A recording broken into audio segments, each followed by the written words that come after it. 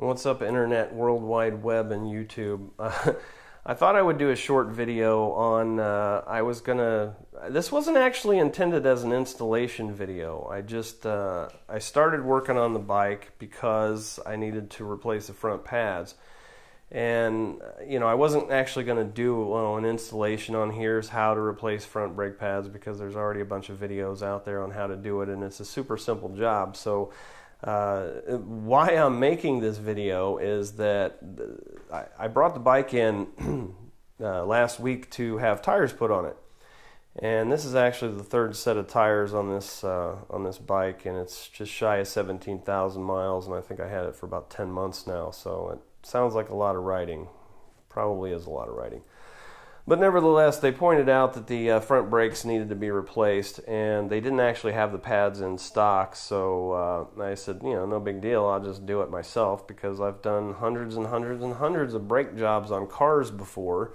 Uh, I have not done a brake job on a motorcycle before, and um, you know, brake technology hasn't changed that much uh, in years. So uh, I didn't really see it as a big deal, and it's not, uh, quite frankly. The the, the brakes uh, on this particular bike are super simple. You, know, you, got a couple of bolts, you take it off, pull the caliper, and uh, replace the pads.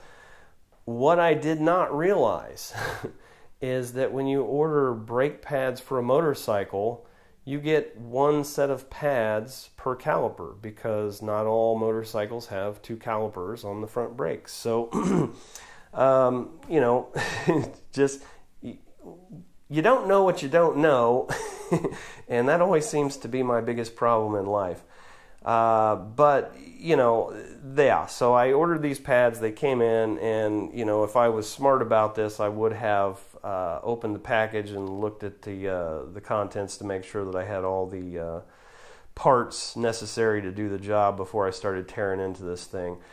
But I did not do that. So, um, you know, it's not really a big deal, quite frankly. I mean, the old pads are, uh, you know, they're pretty shot, but they're not actually down to bare metal. So, uh, basically, I'm going to just put the old pads back on and wait till I get the other side uh, so I can do this job properly. But I did feel kind of obligated to make this video just to uh, point out what a dumbass I am and. Um, you know, maybe somebody else watching will learn from my mistakes. So happy, uh, happy riding, but I'm going to put this thing back together and uh, get on the road.